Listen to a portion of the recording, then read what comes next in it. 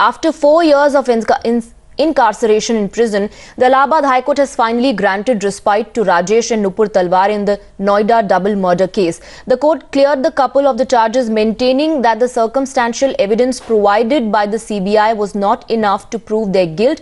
But even as the parents stand exonerated, the question remains who killed Aarushi and when will she get justice? Times Now has accessed the judgment copy in which the Allahabad High Court has said that the prosecution failed to prove its case and that the trial court judge prejudged evidences. Bhavtosh, the Talwars will walk out free from Dasna jail, but their entire fight, this entire legal battle was to get justice for Aarushi.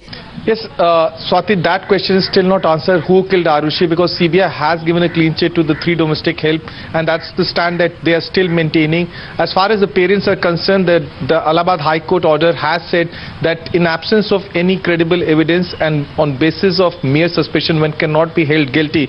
But a very strong uh, uh, observation has been made by one of the judges uh, of the division bench, uh, Justice A.K. Mishra, against the trial court judge, uh, the CBI special judge, Shyam Lal, in which he has said that the trial judge was hell-bent on, uh, on twisting facts and also distorting uh, the, the prosecution evidence in a way that, uh, that the conviction in the case is given.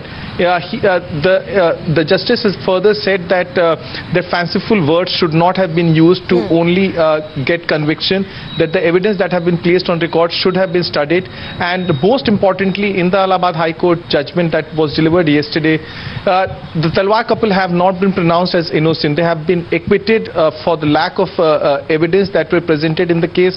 So uh, this, the, the, the claims being made by the defense that uh, that they have been proved innocent is uh, is not correct because the judgment says that in absence of any credible evidence or forensic evidence, the court had no option but to acquit uh, Dr. Rajesh Talwar and his wife Nupur Talwar.